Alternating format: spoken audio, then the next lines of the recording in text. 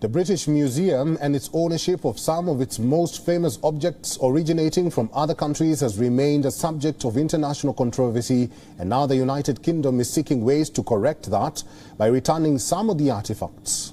But does this mean a return of Elgin marbles to Greece and India's Kohinoor diamonds?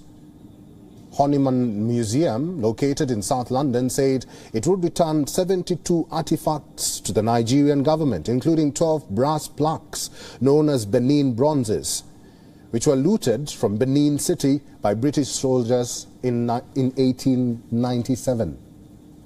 Created from brass and bronze, in once mighty kingdom of Benin in what is now southwestern Nigeria. The Benin bronzes are among Africa's most culturally significant artifacts.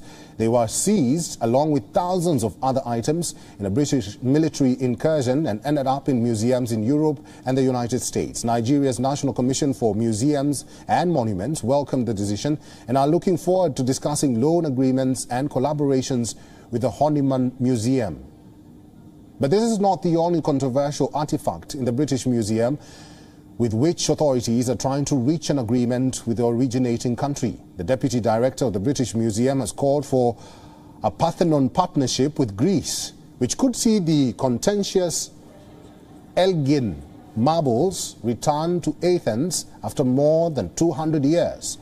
The 17-figure sculptures and part of a frieze that decorated the 2,500-year-old Parthenon temple on the Acropolis were taken by Lord Elgin in the early 19th century when he was the British ambassador to the Ottoman Empire and have since been the subject of a long-running dispute over where they should be displayed. The Greek Prime Minister has called for the return of the Parthenon marbles to Greece on many occasions, even offering to loan some of his country's other treasures to the British Museum in exchange. India has lost several significant national artifacts first under British colonial rule and then through smuggling activities. The most prominent one is the 105.6 carat Kohinoor diamond which is attached to the front cross of the British crown.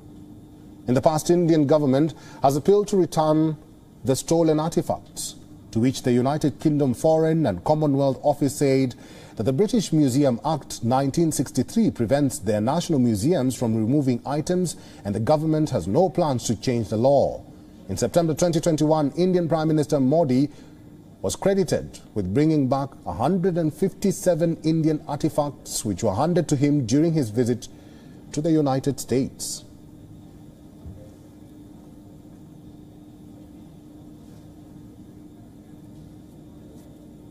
WION is now available in your country. Download the app now and get all the news on the move.